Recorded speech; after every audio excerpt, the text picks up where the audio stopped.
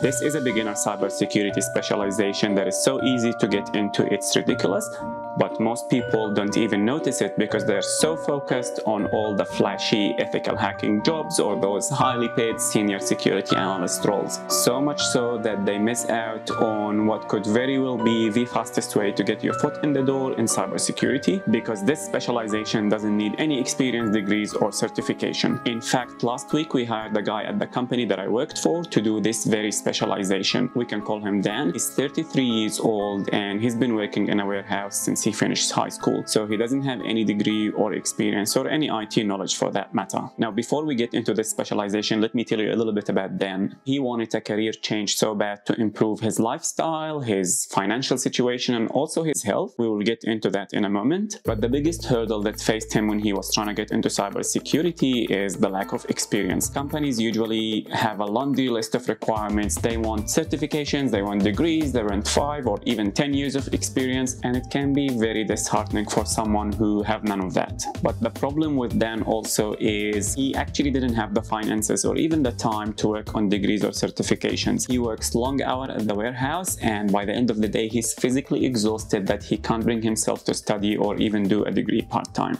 Now Dan told me that he recently injured his low back and he simply couldn't afford to stay any longer in his warehouse job. He really needed that career change and he wanted something he's passionate about that will improve his life but also improve the life of his family and their financial situation and something that he could do long term that doesn't influence his physical health. So three months ago, the company that I worked at, we advertised for a cybersecurity analyst role similar to the one that I talked about here in this video. The role wasn't very junior but it wasn't very senior either. So we wanted someone with some cybersecurity skills but also we wanted someone with little bit of Splunk knowledge. Now we got so many applicants and we interviewed them and we looked at Dan's CV and at the time we knew that he doesn't qualify for the job, but we were curious to see what was his intentions and why he wanted to work in this role, knowing that he simply doesn't have the background. And when we interviewed him, we politely let him know that we actually are looking for someone with a little bit of knowledge in Splunk. And to our surprise, he was actually extremely nice and extremely polite and also extremely professional. He was honest about his lack of experience, but he also told us the story of his low back issues and his plans for a career change. And what I really liked about him is that in the interview, he was open and honest and he asked me on what he can do to improve his chances of landing a job in cybersecurity, whether it's with our company or even a different organization. And my advice to him was to get involved more in the community, go to events, to go to meetup, just meet more people, talk to more people who work in the field and get their advice. And he actually started going to those events. And I know that because a few weeks later, to my surprise, I saw him again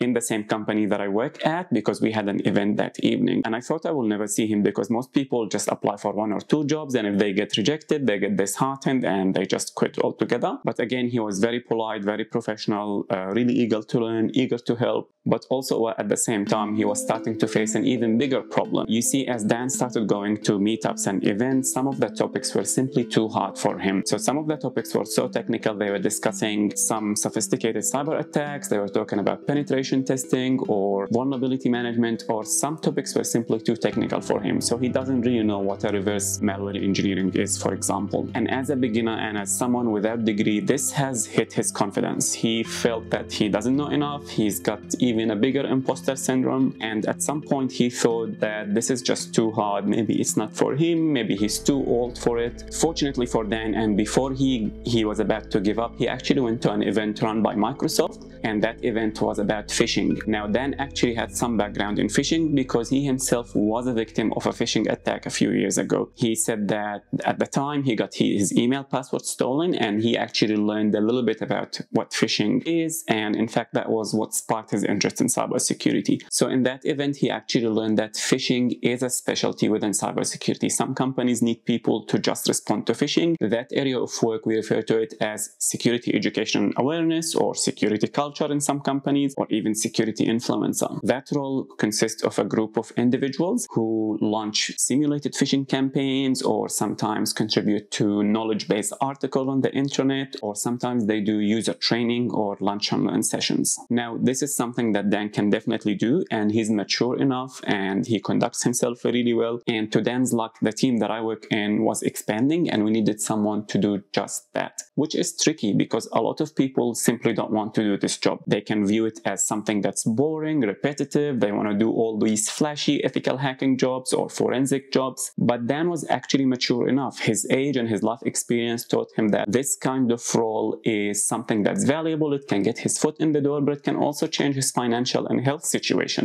And he was one of the first people that we called to interview for this role. And I was so happy that he got it. And in the interview, he expressed his desire to learn a little bit of ethical hacking, a little bit of forensic, and we are very supportive. So I told him now that he got his foot in the door in cybersecurity, he can definitely do that, whether it's during working hours or even after work, because he will no longer be tired. And the most important thing that he continuously displayed was politeness, humbleness. He was very humble, down to earth, and also always willing to learn and was so honest about his lack of knowledge in IT. Now, if you are a beginner or someone who doesn't have any degree or any IT knowledge and you're just curious about cybersecurity and you're wondering where to start, in this video, I created a step-by-step -step plan for you for someone who doesn't have a degree and doesn't have any IT background. This will get you started in cybersecurity and from there you can learn and grow and choose a specialization, whether it's education awareness or any other specialization. I'll see you there.